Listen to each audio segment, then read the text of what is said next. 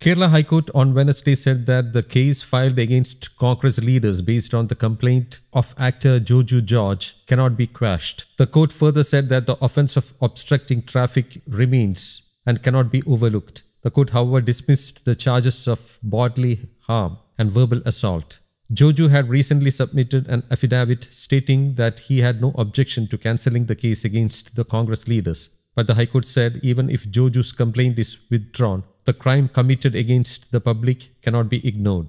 It was on November 1, 2021 that Joju protested against the strike called by the Congress in Kochi against continual rise in fuel prices. Held on one of the busiest roads in Kerala, the Idapalli Vaitila Arur bypass, the strike caused a massive traffic jam during the day, attracting the wrath of the actor and the public alike.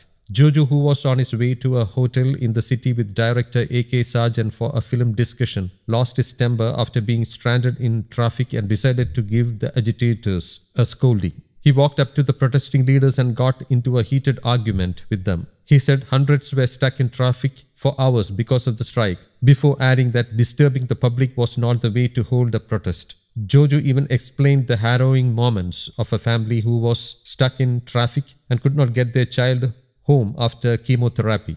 Soon others in the crowd joined Joju in expressing their anger over the strike. Meanwhile, a few Congress agitators broke the window of the actor's car. Joju then filed a complaint which saw a non-bailable case being registered against 15 people, including former mayor Tony Chammani. The case was that the agitators stopped Joju's vehicle, opened the door forcefully, threatened the actor by manhandling him, and broke the window of his car. The Congress leaders alleged that Joju was in an inebriated state and created a ruckus on purpose.